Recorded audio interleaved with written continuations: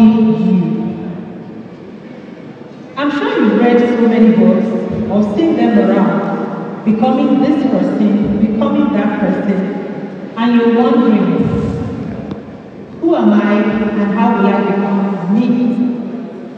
Yes, you are who you are right now, but there's a version of you that you have not seen before. And that is your authentic self. And that is the best person you can be. That's where you can be termed as being successful and you will see yourself being fulfilled. You've heard the story of so many people who, after achieving so much levels in life, and you know, or they tell you that they have lots of money,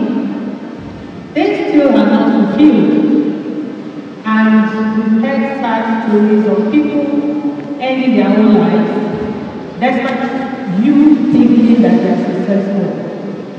So, what is success? I want to define success as being the best of yourself, doing all that God has destined you to do, and achieving those goals. Yes, people have expectation of what success means, but success is what you call it. So what success means to me is not what success means to you. For some women, when they have the number of children, they feel successful. And some women have so many children and they are not successful. So what is this success we all talk about? So I like to define success again as being you.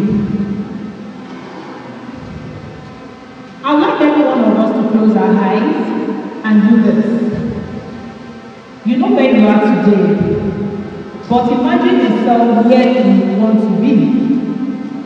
So where do you want to be in your future? I know some of us are so young, some are still in school, some are working. So what is success to you? What is success to you? Think about it. Just take a moment to close your eyes and think about it. What will you do or what will you have been able to achieve? What are your goals that will make you think that, oh, I am successful? So can you put your hands on one or two things or three things that success means to you? Alright, you can open your eyes right now.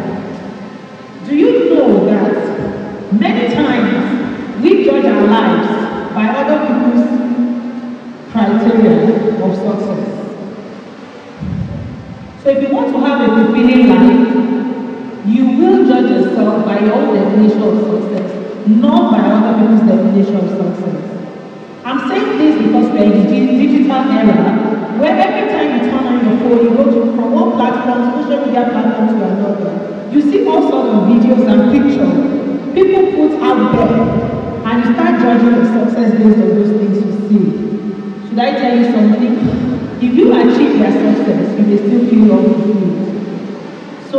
Becoming you is achieving your own definition of success.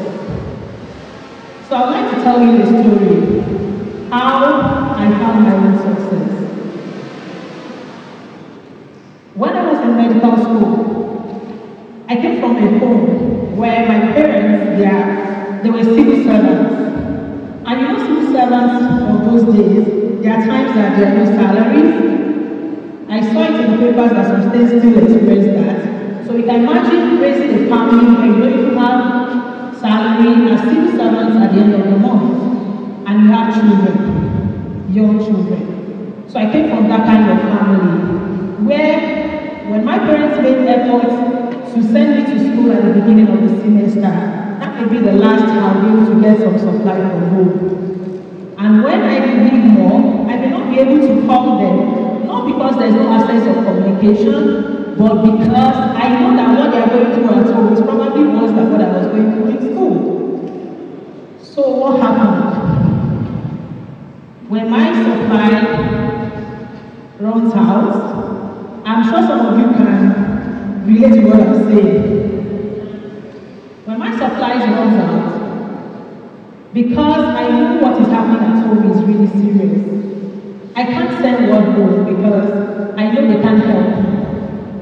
So as a medical student in my 400 level, I started thinking for the first time, what can I do to help myself? As a gorgeous, beautiful lady that I was, I had options, which include, you know, the one I want to talk about. Alright.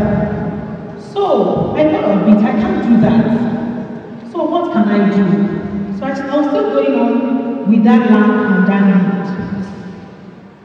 I discovered one day, because as medical students, by the time you're done with school, like 4 p.m., taking your lectures, you just take a moment of break, freshen up, have, some, have something to eat, then you come back to class, read, read, read, and I hope you still read like that.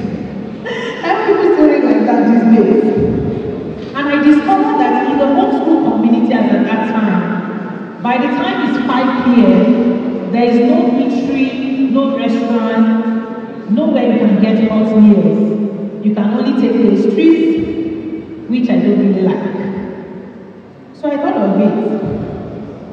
I usually get hungry in the evening. And sometimes as students don't want to go through the stress of cooking all evening and so. You want to read. So I thought of it that I had a problem. And that was there. Then I thought of it and I started researching around classmates, classmates. I discovered that so many other people had similar problems. So I thought of it. What can I do to solve this problem? And the solution I thought was to start selling hot cooked meals. Yes, as a medical student. So, how did I start? I started with just one cup of rice.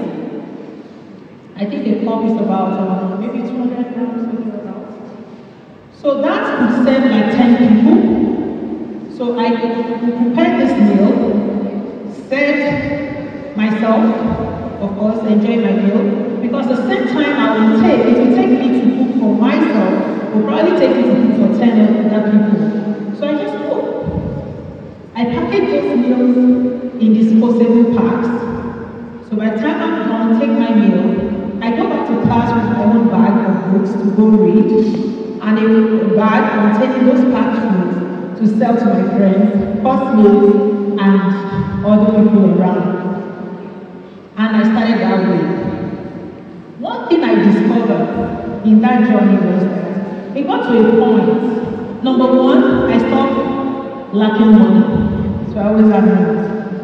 Number two, I was able to concentrate better on my studies. Because when you are worried, you cannot focus in school.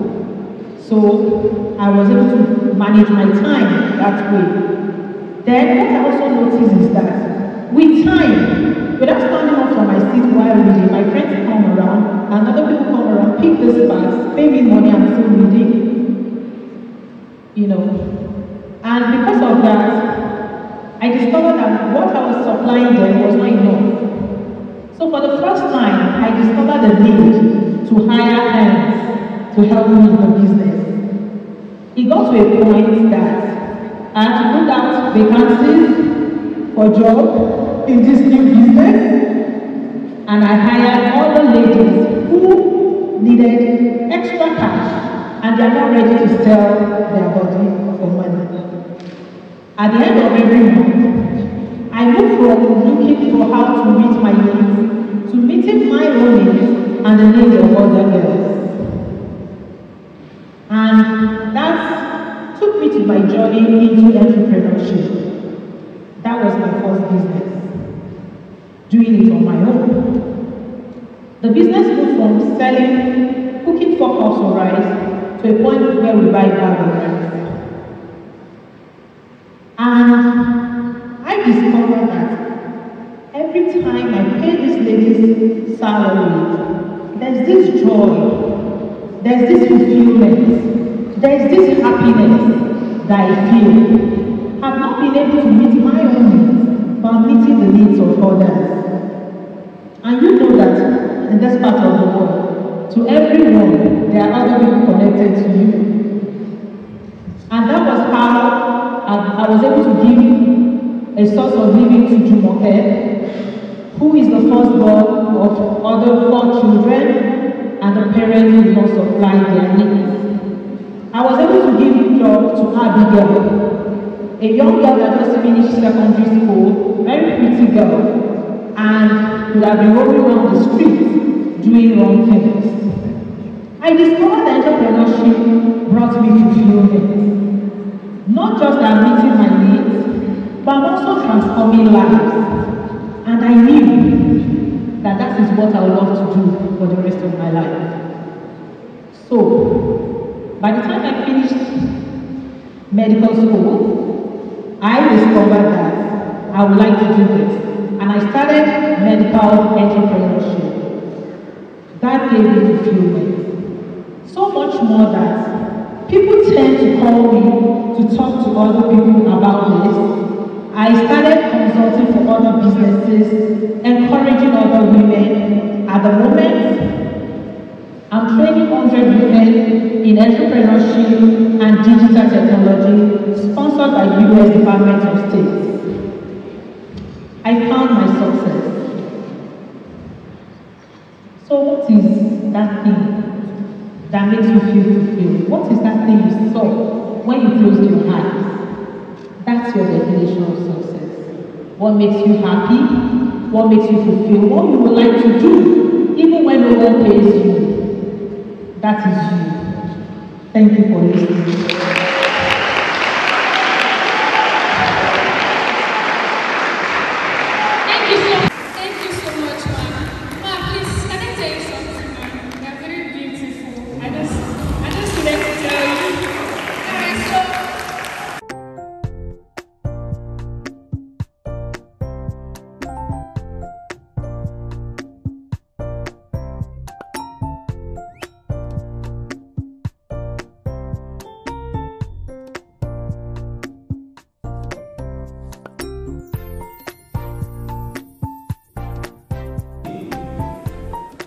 for was CKY.